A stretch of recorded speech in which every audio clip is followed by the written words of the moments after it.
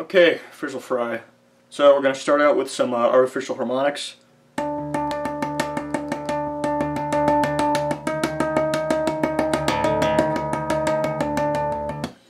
So with your left hand be fretting uh, G7, and with your right hand be uh, tapping uh, up an octave here at uh, G19. So you could do it this way with like one uh, finger kind of tapping there, um, hitting the D string open, or you could do it with like uh, two fingers. I've seen him do that before. You know, one finger for each string. Then move it up here to 8. So, you know, 20 where you're, where you're tapping. So on uh, the record, on a Frizzle Fry, it's uh, it's like back and forth between 7 and 8, like fairly quickly, so it's kind of like...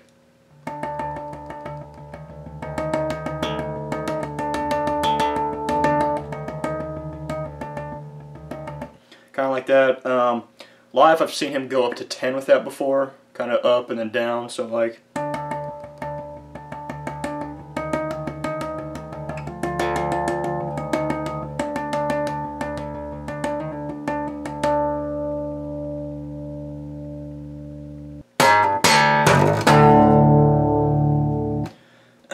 So we're going to pop uh, D6, pull off to 5, and then pop open D.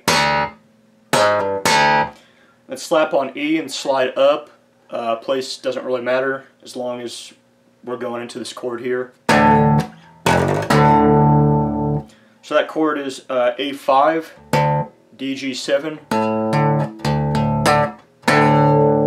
That's going to come up uh, quite a bit in this song. So yeah, I see that, like, you know, most of the time that strummed chord. But I think in pretty early versions, like KZSU 1989, it is this chord here.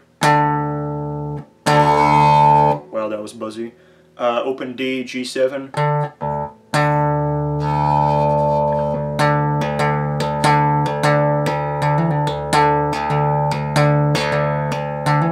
Okay, and then after that chord, we're going to do a little bit more uh, harmonics tapping here.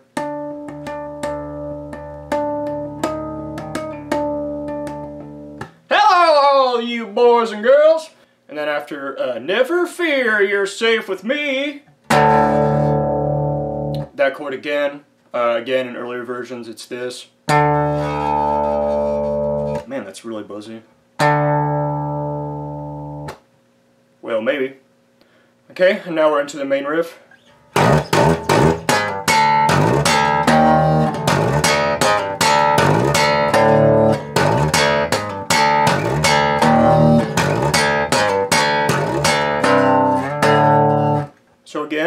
Again, uh, slow down.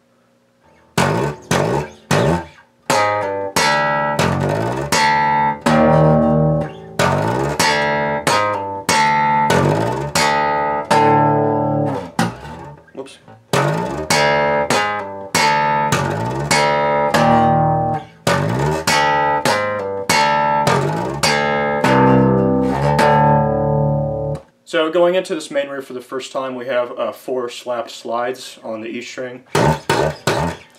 And then pop uh, D6, pull off to 5, um, just like from before. And then open D. Uh, another slap slide on the E string. Open D pop. Then we're going to strum this chord here at uh, A6, DG8. Another uh, slide up and another open D pop. So.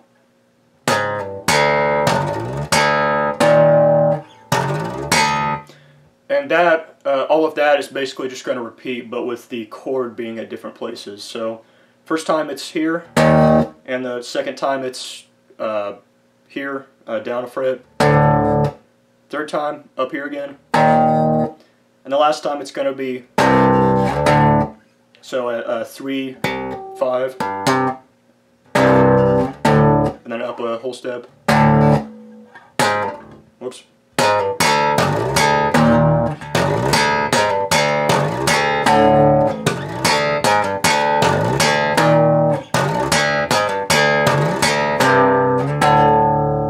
Okay, and then I went to some more lyrics. Uh, Golden Hair of Macrame. So speaking of the lyrics, does anyone out there know what the song's actually about? I, I have no idea what the song's about. Um, I've seen people say before, like, oh, oh, this song's about tripping, it's about LSD, but eh, I don't know, I'm not so sure. Uh, I was listening to a concert one time, it's just a while back, so it could have been any concert, but Les was about to share the meaning of this song. He, he was uh, starting to talk what the song was about, but then someone, uh, you know, threw something at him, which hap happens all the time for some reason. Um, and then he got pissed off and went to the next song. So, so when he goes, I, we're gonna play this. Uh, it's A3, and then G5. Kind of uh, pop that. Thank God the boy's not alone. So again, we're gonna do four uh, slides into our main riff here.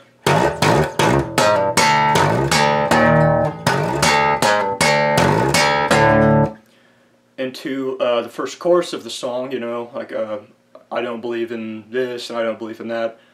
And then next, when he uh, goes, Andy's painting green again. So that's just, you're hitting all the strings open here. This time they might take him away! Which brings us to this part here.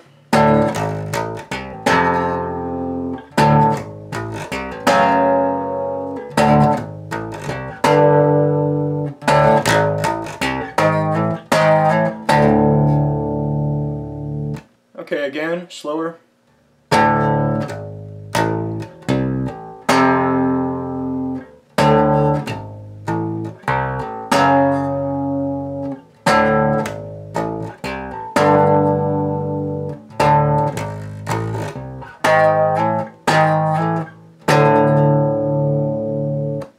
So we're going to uh, be strumming that chord again, which I'm just going to refer to as D, because I mean, again, this comes up a lot in the song, so when I say the D chord, that's what I mean, this A5, uh, D, G7. And then uh, switching to fingerstyle, E4, 5, and then A3. Now we're going to strum this power chord here at uh, uh, D3, G5. Do that again, but moving the power chord up. Up a fret. Up another. And then lastly, up here at uh, 6 and 8, uh, slide up a fret. And then that chord again, the D chord. So basically that same exact thing is going to come up uh, much later in the song, like towards the ending, but it's much faster and in my opinion that is the, the hardest part of this song to play. But uh, you know we'll get to that. And then when he yells uh, it may just take us all away we're gonna start doing this.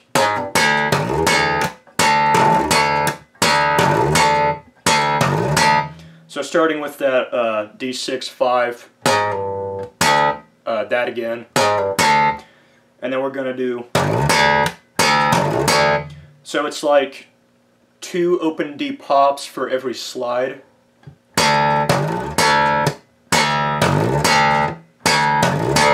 And then we're going to kind of uh, speed that up into our main riff again, so it's kind of like...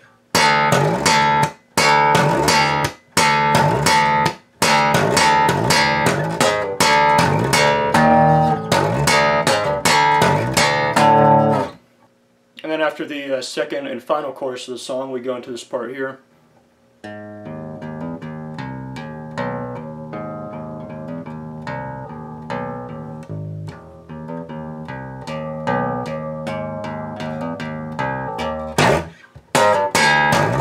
Back into the main riff. So during this part with the right hand, um, what I usually see him doing is uh, hitting the notes on the E and A strings, the lower two strings, with the thumb. And the uh, high two strings, D and G, with uh, it's either the two fingers, you know, middle and index, or it's just the index. I'm not really sure, you know. Not that it really matters, but anyway, so with the left hand with your index finger, brief, uh, yeah, be fretting 1 on D and G. So we're to start with G1, D1, D1, hammer onto 2, D1 again,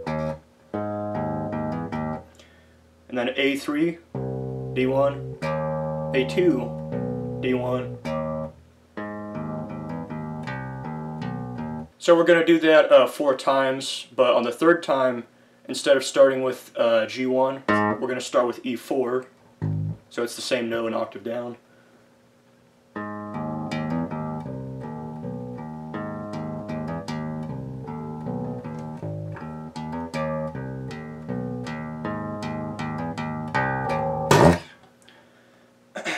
Into the uh, main riff again. And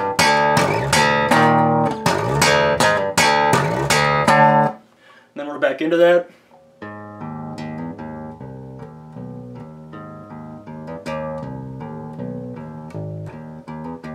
So after four times that, we're going to take that uh, same exact pattern up uh, three frets, so up to four here.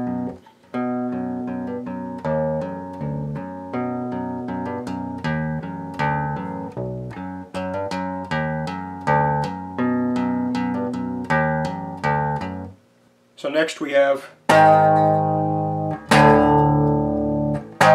just these two chords here back and forth. So uh, first one is D6, G8, and then the, the uh, D chord again.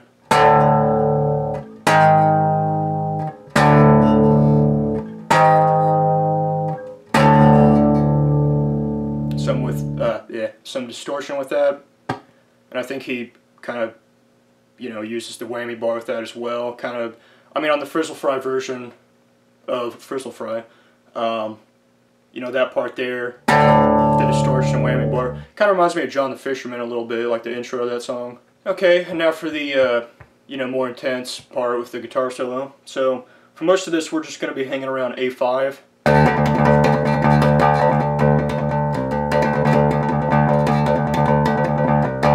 So yeah, some uh, fast kind of notes here. Um, so what exactly is going on? Well, on uh, the Frizzle Fry, on the uh, album version, I'm not entirely sure what's going on with those notes, but um, so I'm basing this part uh, kind of off of hallucinogenetics, in which the bass is kind of you know more prominent in the mix, and I can uh, kind of hear what's going on. So in that, it's like one note, and then five kind of quickly. And then five again.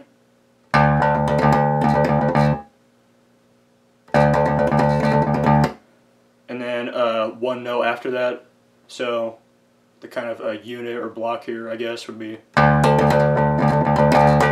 then that repeated. Uh, with some A3s in there.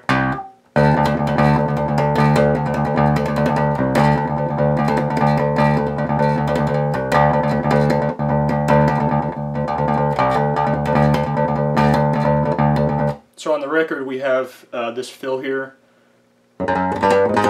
These triplets at 4, 5, 6, 7.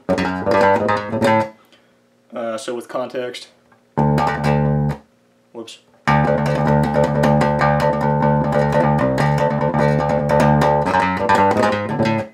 So in many uh, live performances of this, around this time he goes up to uh, G7 a lot, an octave higher, and then kind of plays around with the notes in between there. I think I think the scale here is D Mixolydian, so I think it's like uh, uh, four, five, seven on D and G. So just to kind of improvise, uh, messing around here.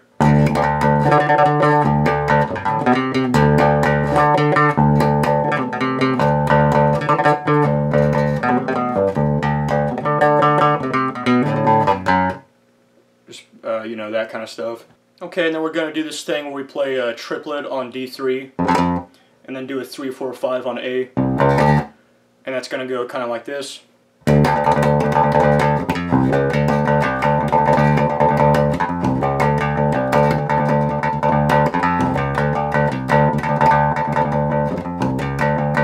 And then next we're going to kind of go down into the E, 3, 4, 5 zone, Um, I'm not entirely sure what's going on on the record, but my best guess is a triplet on 3 and 4, and then a 5 to an A3. So next we're going to uh, strum this chord here at A3 DG5 and slide up a fret into the D chord and then keep that uh, fast A5 uh, fingering going.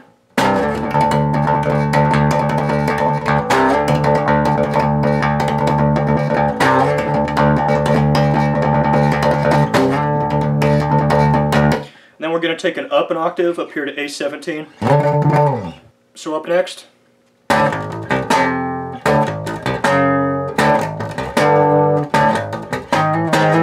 So that is the same exact thing from earlier, the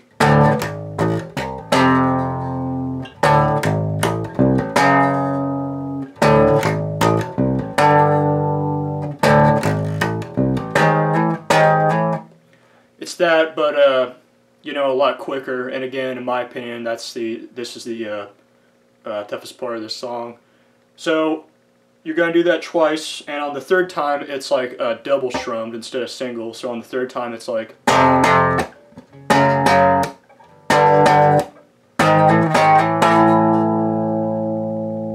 Let that chord ring out, and then slide down into another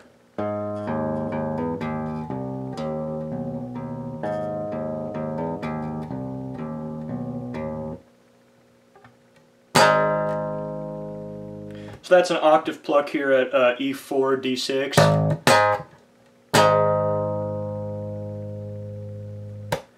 And there you go, first Frizzle Fried.